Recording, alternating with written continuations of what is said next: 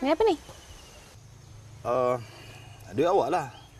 Kan hari tu awak pakai duit awak untuk beli kasut saya. Saya tak cukup duit. Sekarang ni duit saya dah cukup. Saya pulangkan balik. Kan saya dah cakap saya belanja awak sebab tolong saya. Ambil balik. Tak ada lah. Ambil. Kalau tak nak ambil, saya betul Kak Long awak layan saya macam ni. Awak kira dengan saya. Susah betul lah perempuan ni. Bagi salah, tak bagi masalah. Aku suka hati awak lah.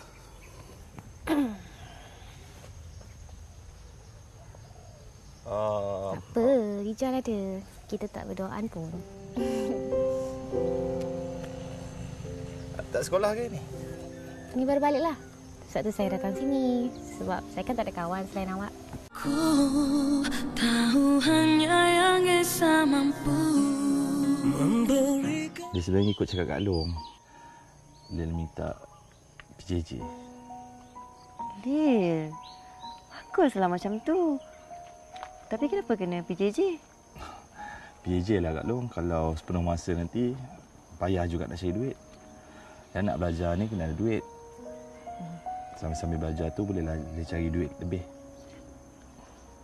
Tapi tak tahulah perancangan je kan. Minta je. Tak tahulah dapat ke tidak. Tak apa, Alhamdulillah. Kak Long gembira sebenarnya dengan apa yang Lil buat ni.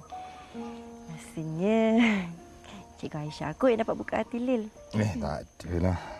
Iyalah tu. Iya, dia tak tahu pun pasal ni. Tak ada kena-kena pun. Tak ada orang pun tahu. Kak Long je tahu. Ku tahu hanya yang Esa mampu memberi Mak tak bagi tahu pun apa nak balik. Eh, mak pun tak tahu. Mil, kenapa tiba-tiba kamu balik ni? Tak, sebenarnya uh, Mel sengaja tak nak beritahu yang balik ni sebab ada kejutan. Apa dia bang?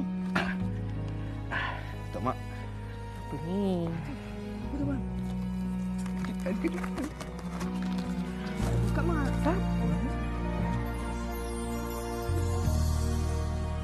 Ya Allah. Kamu dapat belajar kat London?